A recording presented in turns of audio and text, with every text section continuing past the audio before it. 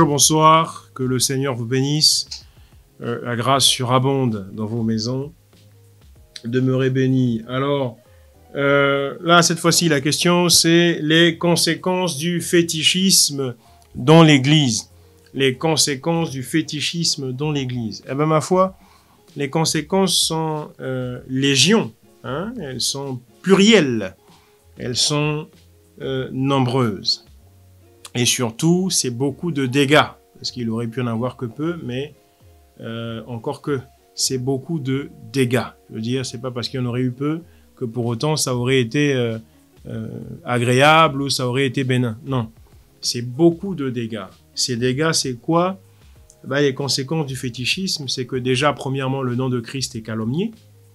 Hein, le nom de Christ est calomnié à cause des chrétiens aujourd'hui.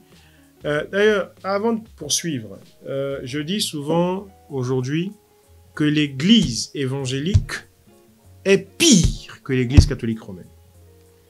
Qu'il n'y a pas plus abominable dans l'histoire de l'Église que l'Église évangélique d'aujourd'hui. Il n'y a pas, quand on examine, quand on étudie l'histoire de l'Église, il n'y a pas eu de mouvement plus abominable que ce que l'on voit aujourd'hui. C'est les conséquences du fétichisme. Il n'y a pas de mouvement chrétien dans l'histoire de l'Église qui ait autant fait calomnier, qui ait autant jeté l'opprobre sur le nom de notre Seigneur Yahushua Mashiach.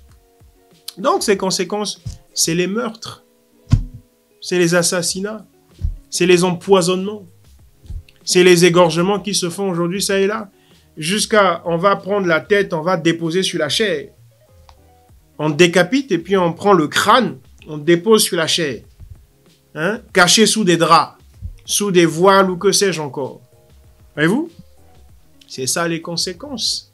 Les conséquences du fétichisme aujourd'hui, c'est qu'on se fait plumer. On va te ramener un bidon d'eau, on dit ça, ça vient d'Israël. Et la goutte est vendue à 10 000 dollars. La goutte d'eau du bidon qui vient soi-disant d'Israël.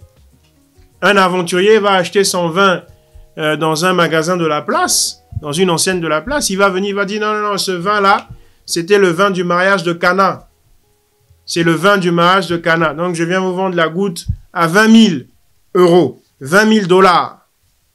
C'est les conséquences du fétichisme dans l'Église. Les Bibles magnétisées, les bracelets magnétisés, c'est les conséquences du fétichisme dans l'Église. La lobotomie qui règne aujourd'hui chez les chrétiens, hein, la possession démoniaque qui fait que les chrétiens aujourd'hui n'aiment pas la parole, se rebellent à la parole, sont contre la parole. Quand tu prêches la parole, ils sont fâchés. Ils ont envie de te, de te, de te dépecer, ils ont envie de te, de te cisailler ou de te taillader. C'est les conséquences du fétichisme dans l'Église. Hein? Cette course est freinée au miracle, cet appétit, cette appétence insatiable pour les miracles, c'est les conséquences du fétichisme dans l'Église.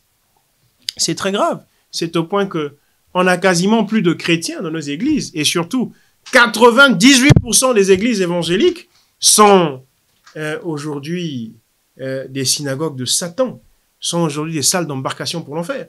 C'est les conséquences du fétichisme dans l'Église. Voyez-vous? C'est tout ça. C'est les conséquences. Donc les conséquences sont légion et euh, le tableau est ténébreux. Voilà. Le tableau de description de tout ça est ténébreux. Voyez-vous euh, Mais par sa grâce, le Seigneur s'est réservé un reste. Demeurez béni, shalom.